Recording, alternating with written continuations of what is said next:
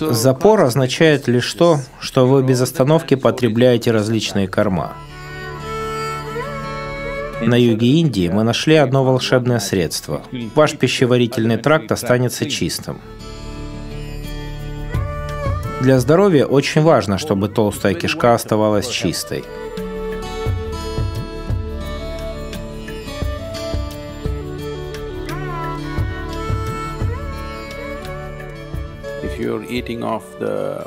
Если вы питаетесь в фастфуде или с полок супермаркета, то, как правило, вы потребляете продукты с очень низким содержанием влаги. Мясной рацион также предоставляет проблему, потому что движение в системе становится очень медленным. В любой пище, которую вы едите, должно быть высокое содержание влаги. Ваше тело состоит из воды более чем на 70%, овощи содержат более 70% воды, фрукты содержат более 90% воды. Поэтому, если вы внесете в свой рацион достаточный объем овощей, фруктов, орехов и проростков, то опорожнение кишечника вообще не будет проблемой. Вы едите очень сухую пищу, в которой нет влаги. Поэтому, если вы будете есть достаточное количество фруктов, овощей, орехов и проростков, то система сама позаботится обо всем. Запор означает лишь то, что вы без остановки потребляете различные корма. Если между приемами пищи проходит достаточно времени, у вас не будет никакого запора. Если вы постоянно что-то жуете, тогда это проблема.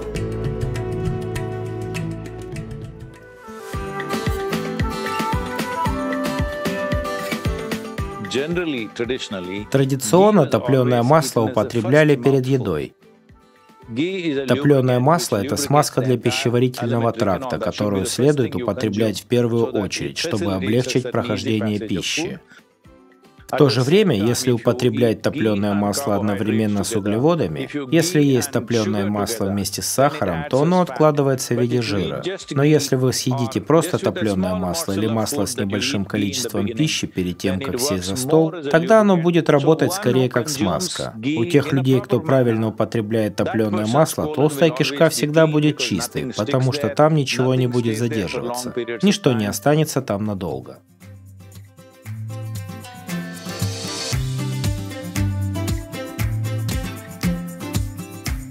Центре йоги Иша.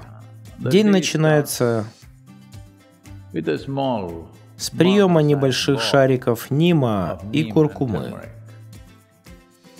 Существует много аспектов того, какое влияние это оказывает на вашу систему.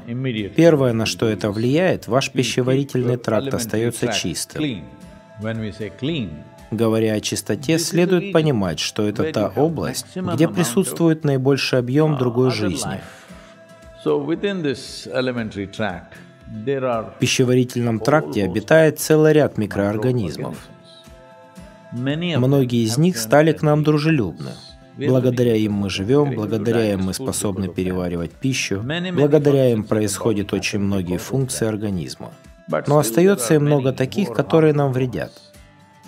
The uniqueness of neem, especially when it is taken along with turmeric. Уникальность нима, особенно когда его принимают вместе с куркумой, состоит в том, что все ненужное в организме, все, что может нанести ему вред,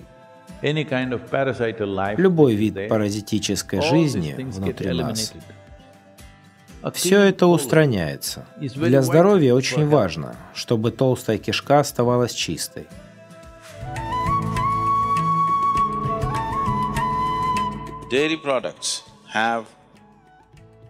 Молочные продукты содержат определенные ферменты, которые используются для производства некоторых текстильных клеев.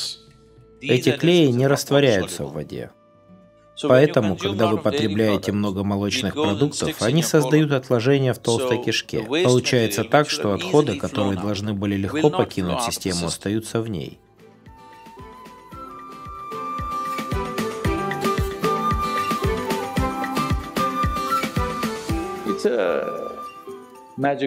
Существует три чудодейственных тропических фрукта. Если смешать их правильно, Получится трифала. Если принять ее с небольшим количеством воды или ложкой молока или, например, меда, произойдет очищение системы. Но если вы не сможете достать трифалу, то на юге Индии мы нашли еще одно волшебное средство. Это касторовое масло. Совсем немного. Пол ложки касторового масла подогреть, развести с водой или молоком и принимать каждый день на ночь. Толстая кишка останется чистой.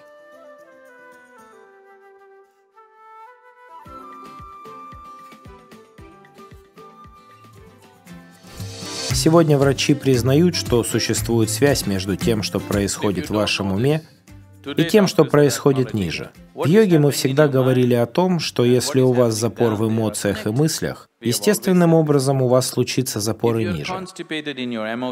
Вам известно об этом? Видите, как мозг связан с другими частями тела.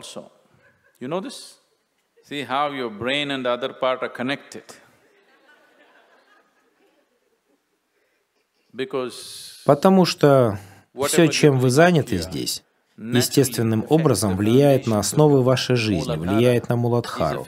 Просто из-за той ерунды, которую вы создаете в своей голове. В минуты страха у вас либо расслабится живот, либо случится запор. Вот почему мы говорим, чуть не наделав штаны со страху.